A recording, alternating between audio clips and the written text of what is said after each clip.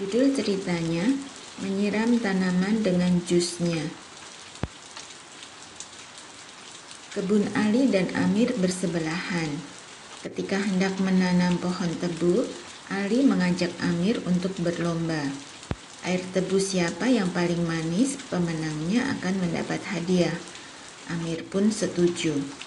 Ali kemudian berpikir keras supaya dapat memenangkannya. Saya akan menyiram tanaman tebu ini dengan air tebu. Dengan demikian, tanaman yang tumbuh akan mengandung air tebu yang sangat manis. Demikian ide muncul di pikiran Ali, dan ia melakukannya. Beberapa hari kemudian, alangkah kagetnya dia karena tanaman tebunya jadi layu dan kering.